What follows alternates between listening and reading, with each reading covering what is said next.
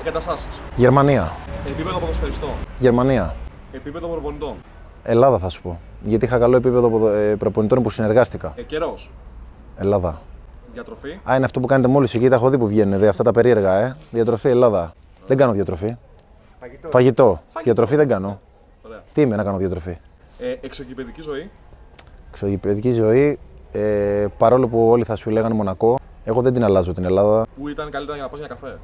Ε, τώρα αυτές τι ερωτήσεις τσάμπα θα χάσουμε χρόνο εκεί. Ελλάδα. Δεν σου απαντάω. Κίνηση στον δρόμο. Κίνηση στο δρόμο, ούτε σε αυτό σου απαντάω. Οπότε να μην σε, να μην σε ρωτήσω καν για το πάρκι. Για το, Πάρκι. για το Ήταν πάρκινγκ. Που ήταν καλύτερα. Μην με ρωτήσεις. Οκ. Έχει κάτι πάρκινγκ εδώ στην Ελλάδα τώρα στην Αθήνα, είναι σαν, τα- σαν να τα νοικιάζει με το μήνα.